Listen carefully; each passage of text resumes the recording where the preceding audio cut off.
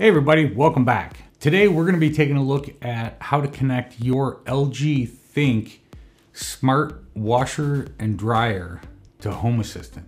If you haven't heard about our giveaway yet for Amazon Fire tablets as well as a wall mount, make sure that you stay tuned till the end of the video so that you can find out how to enter. All right, so we're going to start by going to HACS, click on integrations, then click explore, then type LG Then click the SmartThinQ LG sensors. Then click download. Download that. Then we're going to go over to settings, devices and services. Click add integration. And type LG and click the SmartThinQ LGE sensors. Now, this is very important. If you signed up with the app using a social media account, this will not work. You have to have signed up with your email address. If you use the social media account, go and remove your appliances from your account and then create a new account using just your email and then add them back in. Go ahead and enter your email address, password, country code, language code, and then go ahead and click submit. You can add your washer and dryer to zones if you want. Otherwise, just click finish. Then we need to go over to GitHub and download some files. The link for that will be in the description, but click code and then download zip. Then we need to unzip that file. Then we'll go back over to Home Assistant and we need to go over to settings, add-ons, and we're going to add Samba so that you can copy those files on there. So in the add-on store, click Samba, click Samba Share, install that. And once that install is finished, you can go over to the configuration and set a username and password that you'll use to access your Home Assistant server to copy files to.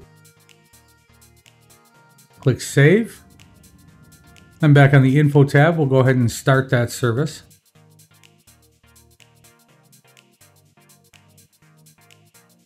And open Windows Explorer. And in the bar at the top, we're going to type slash slash, then the IP address of your Home Assistant server. And then go ahead and log in with the credentials that you set on the Samba share. And then open the config folder. And if you don't have a www directory, we'll go ahead and create that.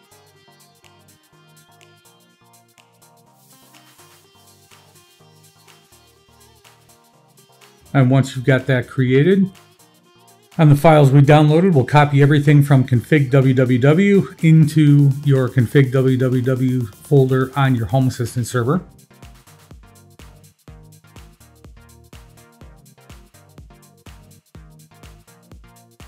And then in the files that we downloaded, we need to copy the entire contents of the configuration.yaml file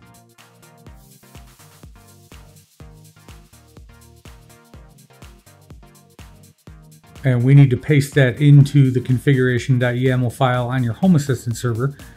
Here we're using Studio Code Server. You can use whatever you like. Uh, we previously installed Studio Code Server in, in an earlier video.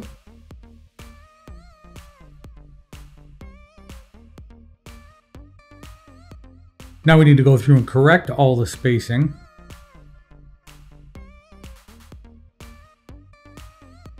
And once we've got all that spacing corrected, now we're going to remove the sections that we don't need because they're appliances we don't have. So the mini washer and the dishwasher in this case we're going to remove because we're only setting up the washer and dryer. So just highlight those sections and delete them.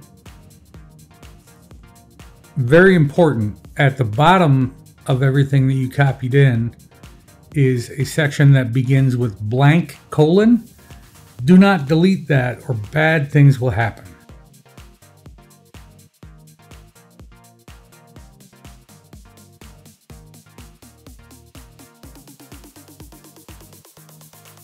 Now we'll go ahead and restart Home Assistant.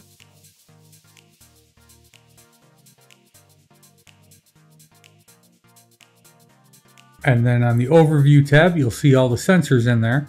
This is because we're using the auto-created dashboard.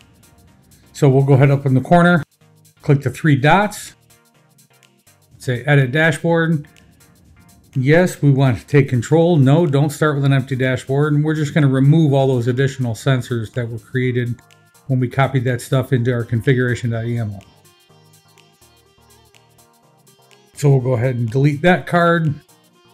We'll edit the switch card because we do have the half bath fan and the half bath light from an earlier episode. Save that. And we'll go ahead and edit the sensor card and remove all those sensors as well. We don't need to look at all that nonsense.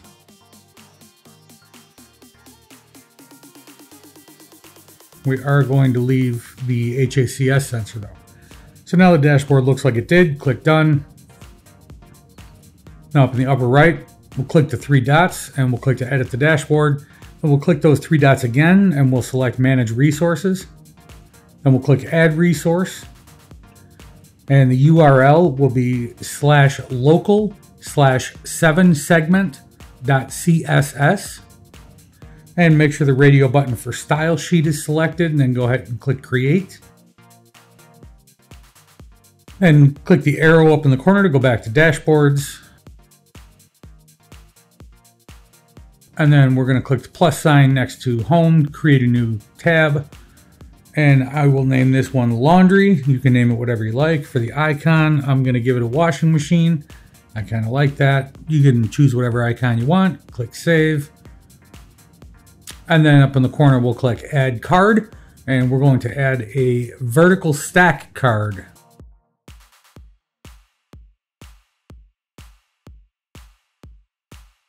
Then click show code editor. And now back in the files that we downloaded, we need to copy the contents of washer card. So highlight all of that, copy that. And then back in our vertical stack card, we're going to delete those two lines and then paste in the stuff from our file we downloaded, save that. Then we'll click edit on that card and we'll go ahead and give it a name. So right after the type picture elements, just hit enter, then put title, colon, and whatever you want to call it. Click save. There we are. And then we'll hit add card and we're just going to repeat the process for the dryer. So add another vertical stack card, show code editor, and then copy the contents of dryercard.yaml that we downloaded.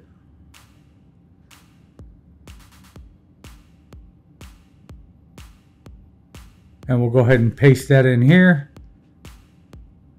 And we'll save that. There's our dryer. We'll click edit. And do the same to give it a name. Title, colon, and whatever you want to call it. I'm going to call it dryer. And there we are. Click done up in the corner. And that's it. We are finished. All right, so how do you enter the contest? We're to give stuff away based on the number of subscribers that the channel has. The Fire 7 tablet will be given away when the channel reaches 250 subscribers. When the channel reaches 500 subscribers, we're to give away a Fire 10. And at 750 subscribers, we're to give away a Fire 10 with a wall mount plate so that you can hang that up in your kitchen or your living room or your bedroom, wherever you want, and control your smart house from there. When we reach 1,000 subscribers, there'll be a special prize that'll be given away but you're just gonna have to stay tuned for that one. To enter, you need to be subscribed and you need to comment on a video. When we reach one of those subscriber milestones, the next video that gets made, I'll randomly pick from the comments, announce the winner on that video. They'll contact me and we'll arrange for shipping. Thanks for watching. I hope you learned. I hope you're able to implement what you saw today and we will see you next time.